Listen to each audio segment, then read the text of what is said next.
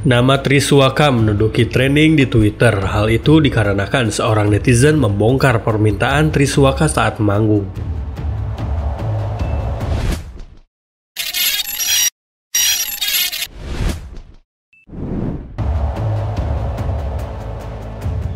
Akun Twitter @miskin_tv underscore mengunggah foto isi chat WA yang diduga dari pihak Triswaka. Permintaan pria yang berusia 27 tahun itu saat manggung terlihat sangat banyak. Nampak tarif manggung Triswaka untuk satu jam menyentuh angka 50 juta rupiah. Tentu, bayaran tersebut belum termasuk kebutuhan Triswaka saat manggung. Untuk perlengkapan kamar hotel, Triswaka meminta kamar yang, yang memperbolehkan tamu merokok. Dalam list tersebut terdapat pula permintaan rokok satu slop serta jajan jalan lain.